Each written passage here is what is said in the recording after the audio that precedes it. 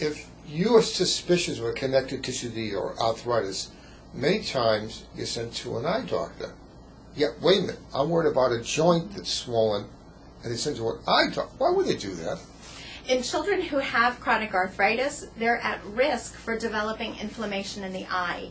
And I can't see it on my kind of exam when I look with that scope that's sitting on the wall. I can't identify it most times, and the child has no symptoms at all. So if we wait for the child to complain that they're having trouble with their vision, then it may be too late to treat it well.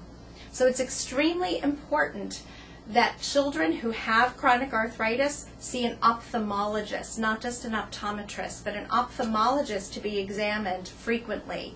And the amount of times that you go to an eye doctor in a year really depends on some of the lab tests that are done and also the age of the child when they first are diagnosed with arthritis. But generally, children will go to the ophthalmologist between every three months and every six months. So that's very important not to forget. Again, because they're not going to complain that they're having trouble seeing.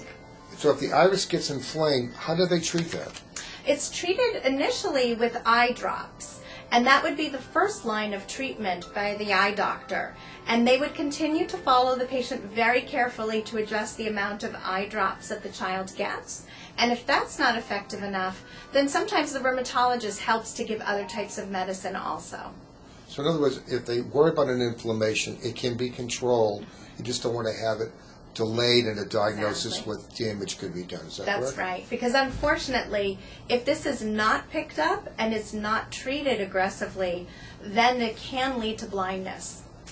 But it is, that there are very effective treatments for it.